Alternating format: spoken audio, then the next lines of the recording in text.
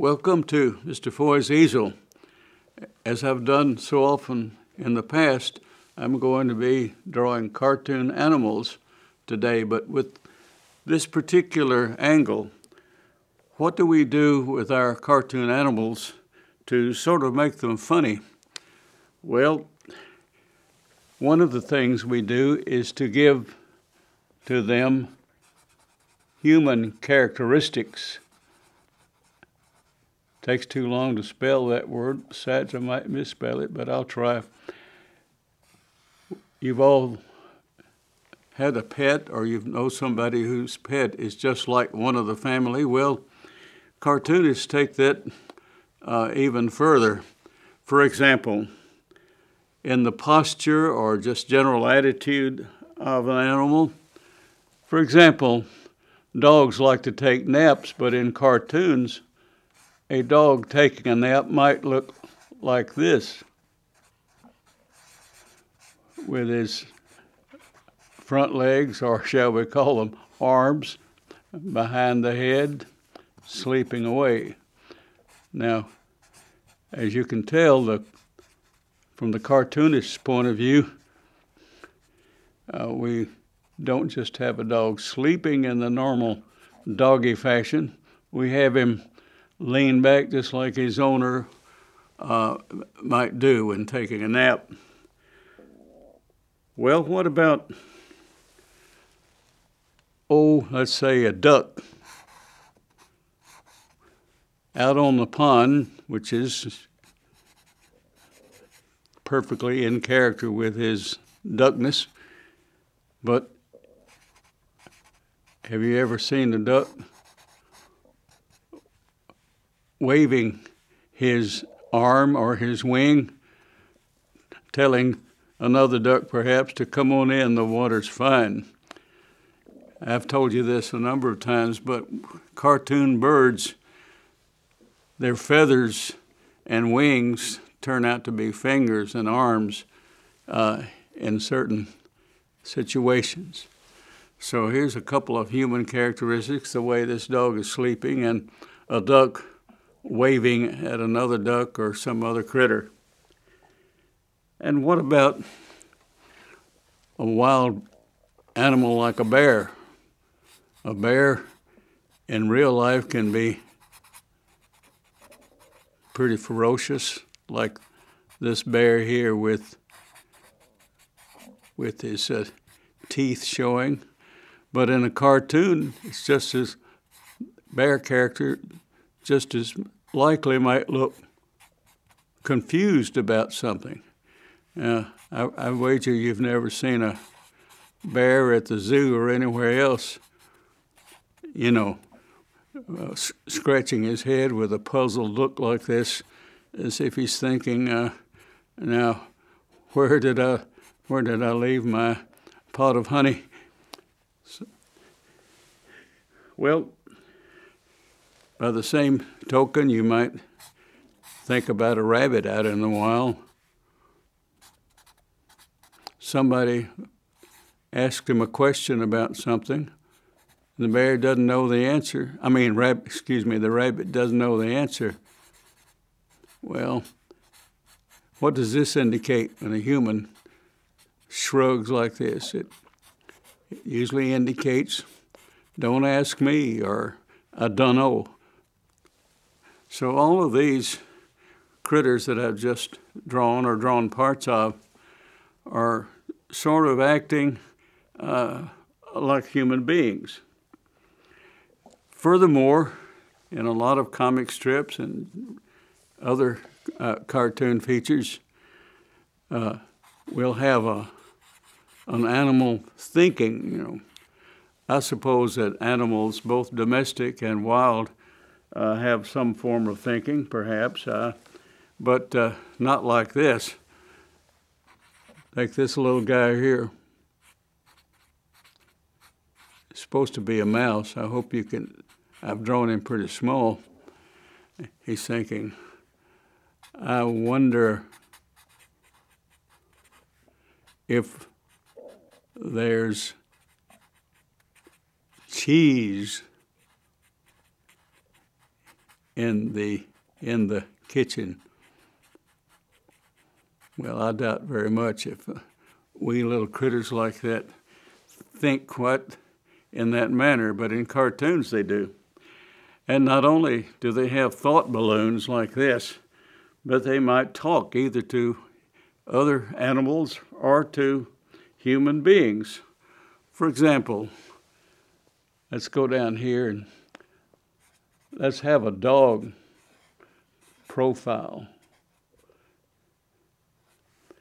And his master is reading the newspaper, and it's it's time of day when he usually takes his dog for a walk. So in this cartoon, why dog says, "Let's go." He knows it's time for the walk, and he's talking to the human being. I ought to point out to you that in some cartoon strips where you have animals and people, like Garfield, it seems that uh, uh, the animals and the human can carry on a conversation. Well, let's take a short break and return and talk more about the use of animals in cartoon humor.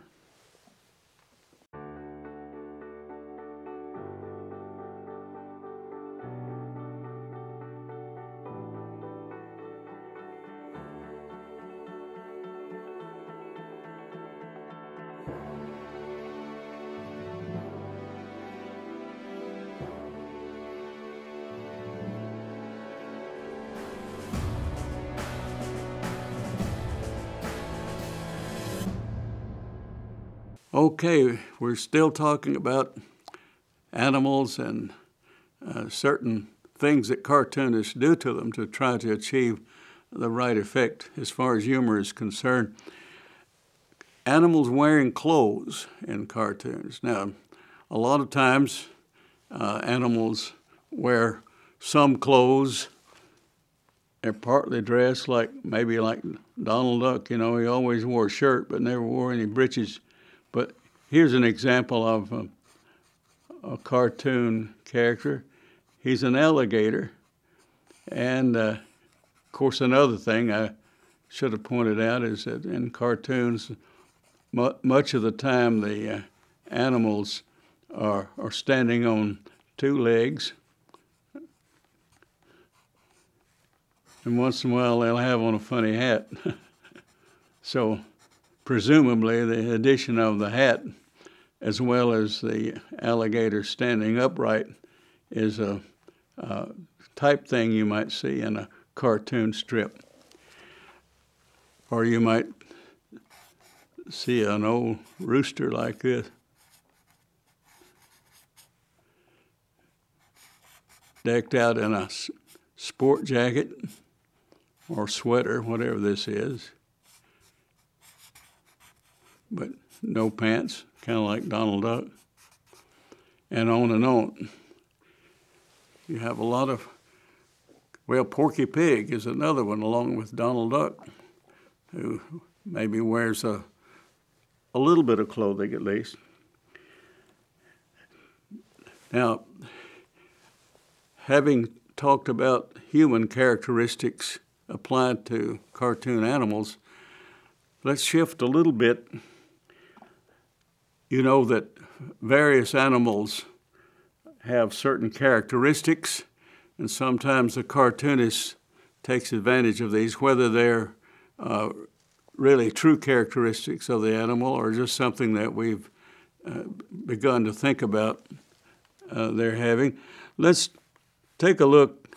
I'm using a dog again, but this time I've got his owner.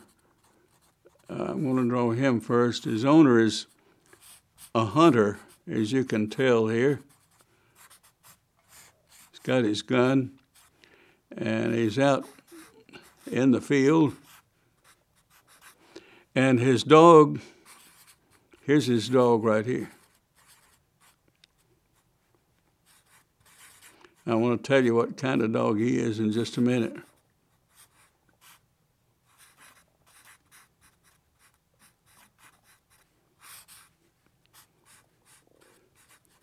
You guessed it, he's a pointer.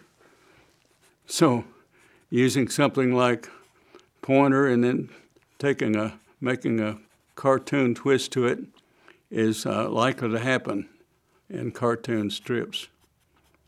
As if he's saying, there it is, whatever the game the dog is pointing toward. Well, supposedly dogs are frequently a nuisance, if not a real threat, to postmen. So here's a way I might show that. This dog is looking looking out the window with a kind of an angry expression on his face.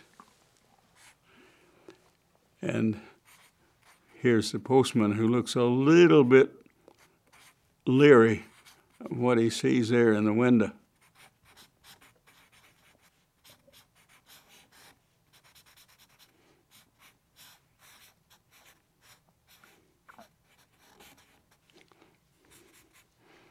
So this this type of cartoon humor is derived from the uh, stereotype of dogs and postmen being enemies, you might say. And of course, there's always the theme of the chase, predator and prey. And that makes me think of this mouse up here because if you remember the cartoon, uh, animated cartoon, Tom and Jerry, now I'm not trying to draw either Tom or Jerry, but there's always a, a chase with the mouse being the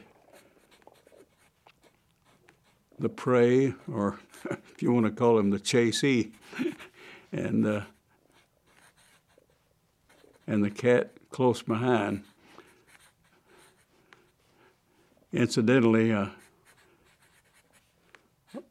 a lot of times, even in a chase like this, which is kind of natural for cat and mouse, uh, they're running upright just like human beings. So, by the way, uh, as a rule, when you have a kind of a bully predator and a smaller, meeker uh, hunted animal, a lot of times the, the little guy ends up on top and the cat ends up on the bottom.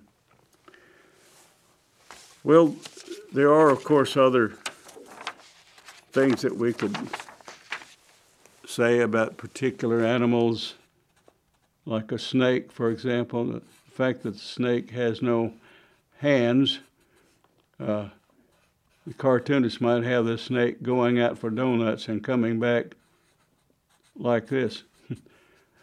so, watch for these things. It might be fun to identify some of the recurrences of animals acting like humans and animals acting like certain animals are supposed to. Remember, you can contact Mr. Foy's Easel at conwaycorp.com.